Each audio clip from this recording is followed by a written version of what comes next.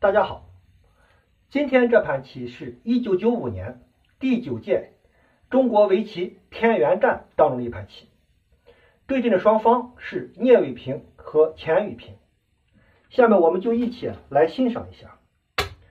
聂卫平执黑先行，白棋是钱宇平，黑棋开局对角星，白棋对角星和小目，黑棋挂角。那么下招棋呢，白棋并没有对这个黑棋展开加攻，采取了一个分头的下法。黑棋加攻角上的白棋，白棋靠压出头。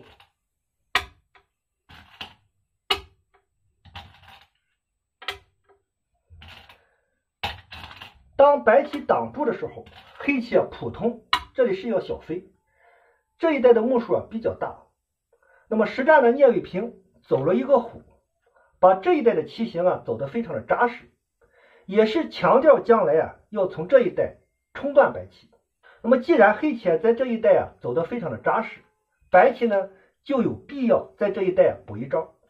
那么白棋可以小飞，可以在这里靠，也可以从这里镇住黑棋，甚至呢白棋可以飞封锁左边的黑棋，都可以有效的防止黑棋这个冲断。那么实战的钱宇平从这一带加攻黑棋，也是想以攻为守，在进攻这个黑棋的过程当中，顺势补住这个冲断。但是呢，这一招棋从实战的结果来看，并没有有效的补掉这个冲断。那么聂卫平呢，直接在左上角动手，先搬了一个白棋搬住，黑棋就从这里直接冲断白棋。双方开局不久，就在左上角啊展开了激烈的战斗。黑棋粘住以后，下一步黑棋一夹就可以吃住这三个白棋。实战的钱宇平从这里贴出去，但是电脑 AI 的推荐，白棋应该是先跳。那么跳出去以后，白棋这一带的气看上去比较松。实战钱宇平先贴了一个黑棋虎住。白棋呢往上一跳，那么这个棋形，等将来黑棋这里长或者跳的时候，很明显这里有一个挖断的下法。那么白棋跳出来以后，黑棋呢先把这个子粘回来，白棋立下去要活在角上，下一步黑棋就从这里往上一跳，白棋需要补棋，白棋呢走了一个小尖，封锁上面三个黑棋的同时，还要补掉这个挖断。下一步黑棋就要把这三个子给做活，先挡下去。白棋一退，黑棋一路搬，白棋就地做活。下一招棋，黑棋走了一个大飞，也是想把黑棋活在上面。对待黑棋这个大飞，钱宇平实战走了一个飞，想封锁上面的黑棋。那么这时候电脑 AI 给出来的答案。白棋应该是从这里顶住，这也是对待这个大飞啊一个本手。黑棋退回去，白棋从这里搬下去，局部的黑棋还没有活，只能依靠这种夹和外界呀取得联络。白棋这个时候不敢立下去，黑棋这里有一个断，白棋打吃，黑棋往上长，然后呢白棋。吃住这个黑棋，黑棋反打一下，白棋粘住。下一步黑棋啊，就通过这个挖断来封锁这里的白棋。黑棋这里有一个挖，白棋打吃，黑棋切断，白棋呢提掉，黑棋一挤，白棋粘住。那么黑棋在这一带通过滚打包收，把白棋的棋形给打中。下一招棋，黑棋从这里一搬，这个时候我们就看到这里白棋棋形非常的重，气呢也非常紧，看上去白棋这里有一个冲，黑棋就挡住。这些白棋需要出头，在这一带最好的出头方式就是这个小尖。那么黑棋呢先吃一个，白棋粘住，黑棋这样一夹，这些白棋居然。从这一带没有办法冲出去，白棋如果硬冲，黑棋就扳住，白棋再冲的时候，黑棋这里一打吃，白棋这里粘不住，黑棋挡住，白棋提掉，黑棋呢背后一吃，所有的白棋啊全部死掉。那么对待黑棋这个家，白棋不敢挡下去，也只有粘住。那么黑棋呢一路度过，白棋虚夹黑棋，黑棋呢先爬一个，白棋往角上长。黑棋呢再一飞，白棋继续冲，黑棋呢在这一带退一个，白棋再冲，黑棋挡住，白棋切断的时候，黑棋往下一立，白棋呢吃住这个黑棋，双方啊在上面的战斗啊告一段落。那么看上去白棋啊把黑棋全部都压制在低路，但是呢白棋这道外势也被黑棋啊这个子啊给限制住。从结果上来看，还是啊黑棋稍微有利，但是作为白棋来讲，白棋这个结果比实战啊要好很多。实战白棋钱雨平没有走这个顶，选择了小飞封锁上面的黑棋，黑棋呢二路一拖，也是想就地做活。这个时候呢，钱雨平又长了一个，那么长出去的目的也是慢慢的要影响到黑棋这个角。那么这时候电脑 AI 又给出了不同的。推荐要靠的，黑棋搬，白棋就切断。黑棋打吃的时候，白棋反打，黑棋提掉。那么下招棋呢？白棋吃住这个黑棋，那么走成这个结果是双方啊两分的一个结果，各占百分之五十的胜率。那么实战钱玉平啊没有敢走这个靠，也是担心黑棋啊从这里搬上来。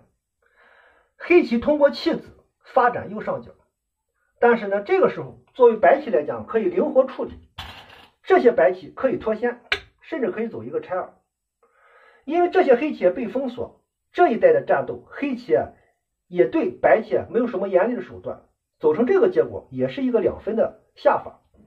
实战呢，钱雨平执着的从这里长了一个，那么黑棋呢从这一顶，避免了白棋这个靠断。下一招棋，白棋一长，黑棋继续二路爬，白棋跳到角上去。普通呢，实惠一点，黑棋啊是要挡角，但是呢，聂卫平从这里贴了上来，也是想在这一带将来要攻击白棋。白棋虎下去，黑棋一长，白棋先搬了一个，黑棋呢粘住。下一招棋，白棋连接，黑棋。收脚，双方在上面的战斗告一段落，暂时这些白棋没有什么危险。这时候钱雨平呢走了一个拆二，那么这招棋呢看上去也是一个急锁。假如在这一带被黑棋逼住的话，那么这个白棋啊不好受。但是电脑 AI 这个时候推荐白棋啊还是应该往中央跳一个，先把上面的白棋先出头，也可以白棋在这一带行棋。攻击脚上的黑棋，间接的声援一下上方的白棋。那么实战呢，钱雨平走了一个拆二。那么紧接着下一招棋，聂卫平走了一个大跳，开始整体进攻上方的白棋。那么这一招棋呢，也是入伏争正面的一招棋。这些白棋需要出头，跳了一个，黑棋呢再一飞，白棋跟着飞了一个。那么白棋呢，一个是想要出头，一个是想要走到下面去威胁上面四个黑棋。但是呢，这个时候聂卫平走的非常灵活，在这一带呢，并没有这样贴下去，而是呢走了一个拆二，白棋出头，黑棋继续拆二，这两招棋啊走的非常的灵活，先把右边啊全部都实地化。那么至于白棋，这个时候也不肯在这一带行棋，毕竟没有什么目数。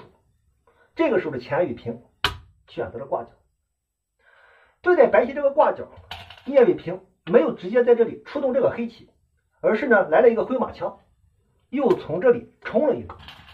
白棋呢不肯这样挡住，因为这里有一个断。白棋在这里的下法是往上长，黑棋直接冲进去。当白棋连接以后，黑棋扳住白棋这个头。白棋扳，黑棋连扳。看上去白棋这一带的出头，白棋需要打吃，黑棋粘住，白棋再打吃，黑棋往外长，白棋连接，黑棋挡住，白棋如果往下冲的话，黑棋在这一带可以来一个倒伏，角上的黑棋是活棋，那么这些白棋呢还没有确定的两只针眼，关键是白棋这种打吃只能是把黑棋啊越走越后，这是白棋啊不愿意看到的一个结果。那么实战的钱雨平在这虎了一个，这也是一个苦肉计。黑棋打吃，当然白棋这里不能粘，被黑棋挡住的话，右边这个时空啊非常的饱满。在这一带的作战，钱雨平选择冲下去，黑棋提掉这个白棋，这一带的黑棋啊非常的厚。那么下招棋呢，白棋从这里加了一个，也是想攻击上面四个黑棋。这个时候聂卫平往下一立，非常的漂亮。白棋挡住，黑棋呢走了一个扳。对待这个扳，白棋是不敢扳下去，分断上面的黑棋。如果白棋扳，黑棋从上面一扳，白棋这一带的棋形啊，马上就崩溃了。那么黑棋扳住以后，白棋也只好先从这里拐一个。下一招棋呢，黑棋从这里一挡，有了这一招挡，白棋照样不敢从这里扳下去。黑棋这一断，白棋即使这里打吃，黑棋这里有一个反打，白棋踢掉以后，那么黑棋啊可以吃住。这三个白棋，那么整块的白棋呢都没有活。那么黑棋挡住以后，白棋暂时在这里没有动，先在脚上拖了一个，黑棋扳住。下招棋呢，白棋一吼，白棋吼的目的也是希望黑棋啊二路爬，白棋一顶，黑棋继续爬，白棋这里有一个打吃，黑棋粘住的时候，白棋吃住这三个黑棋。那么在这里的战斗，聂卫平啊，对待白棋这个猴，走出了一步妙手，先从这里断了一个白棋打吃，这个时候黑棋啊，再从二路爬。如果白棋继续像刚才这样顶住的话，那么黑棋一爬，正好有了这一招棋的存在，黑棋打吃这四个白棋，那么白棋呢也来不及从这里切断黑棋。那么白棋一看在这一带没有办法做眼，于是呢只能依靠这种靠，在这一带要整理眼位。但是呢这种靠也让黑棋的外势越来越厚。白棋退了一个，黑棋呢需要补断，可以粘住也可以长。聂卫平实战粘在这里，白棋挡住这一带出现了眼位，黑棋一顶，白棋呢虎一个，黑棋一退。那么下招棋呢？白棋从这里一顶，黑棋挡住，白棋又走回来，从这里一团，黑棋挡住，上面的黑棋是活棋，那么白棋呢吃住这个子，黑棋一挤，先把这只眼啊给挤掉，白棋粘住，下招棋呢黑棋不断，白棋退回来，退回来以后这一带有眼位，走成这个结果，上面的白棋啊已经交代清楚两只针眼。但是呢，毕竟目数太少。我们再看黑棋呢，外势非常的厚。走到这里以后，黑棋啊就控制了整个的局面。黑棋在上面的战斗还获得一个先手，小尖了一个，开始处理左下角这个黑棋。白棋飞到角上去，也是希望能攻击到这两个黑棋。那么聂卫平呢，靠了一个，开始整形。白棋一退，下一招棋，黑棋从上面镇住这个拆儿。还要攻击这两个白棋，白棋先小飞一个，先建立自己的根据。黑棋从上面压住，白棋一靠，黑棋扳，白棋退，黑棋往上一长。那么长出去以后，那么在这一带黑棋就出现了木数，白棋还要退回来，保证啊白棋左边的活棋。那么下一招，黑棋从这里靠住白棋。要把左边啊全部都转化成实空，这个时候黑棋有很多的选择，可以在这个地方挂角。之所以聂卫平啊选择从这里靠，也是觉得这四个黑棋毕竟这有一个断，有点单薄，于是呢实战黑棋选择靠了一个。因为在上面的战斗，白棋吃亏不小，那么白棋呢也是要快速的抢占时空，守了一个角。下一步，黑棋加攻这三个白棋。那么对待黑棋这个家，白棋往上拐了一个。下招棋呢，黑棋一夹吃住这个白棋，角上的实力也非常大。那么这三个白棋还需要处理，钱雨平飞了一个，黑棋靠上去，白棋呢挖了一个。那么这个挖的目的也是想就地做活。黑棋打吃，白棋粘住，黑棋呢往上一长，继续啊发展中央的这个空间。白棋断，黑棋打吃，白棋立下来，黑棋呢后势的粘住。下一步黑棋一挡，还要吃这两个白棋，白棋一拐，这里的白棋已经成活，非常的厚，但是呢，付出的代价也是让这里的黑棋啊变得非常的厚。下一招棋，聂卫平直接点入三三，这非常考验白棋。如果白棋挡住的话，黑棋大致就可以往上长，在这一带要和白棋开劫，白棋挡住，黑棋扳。白棋扳住，黑棋的一虎，白棋一路打吃，黑棋的挡住，在这一带形成一个劫争。那么这个劫对于黑棋来讲非常的轻，但是对于白棋来讲，如果黑棋在这一带劫争胜利的话，那么这些白棋外围还有很多的切点。那么我们在纵观全局，黑棋的劫财非常多，这种冲、这种粘都是劫财，所以说白棋在右下角。也不敢和黑棋开劫。那么黑棋点角以后，钱雨平呢从这里搬了一个，在这一带啊找一些头绪，也是想攻击上面的黑棋。黑棋二路搬，这个时候白棋最终选择了从这边挡住。黑棋呢先在角上定型，点了一个，白棋粘住，黑棋搬，白棋扑了一个。黑棋提掉，白棋粘住，保证了上面白棋有一只眼。那么下招棋，黑棋小尖，开始做活右下角。白棋往上贴了一个，这个时候黑棋扳住，其实中央啊也非常充分。这个时候呢，聂卫平走的非常稳健，跳了一个，保证这一带的联络。白棋挤了一个，黑棋一虎。那么下招棋呢，白棋扳住。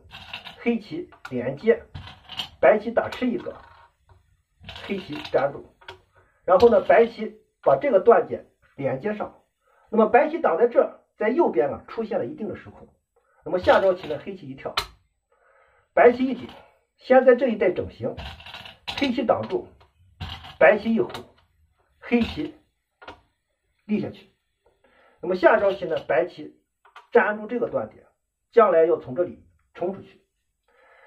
那么这一轮战斗又告一段落，黑棋呢又获得一个先手，小尖了一个，这是全盘啊最大的一个关子。那么白棋在这断了一个，黑棋打吃，白棋长，下一招棋黑棋封锁白棋，中央这个模样非常大，白棋断了一个，黑棋先打吃，白棋一长，黑棋再一跳，走到这里以后，钱雨平投子认输。这两个白棋连不回去，全盘啊白棋失控不够。那么这盘棋呢，聂卫平以他卓越的大局观，中盘战胜了钱雨平。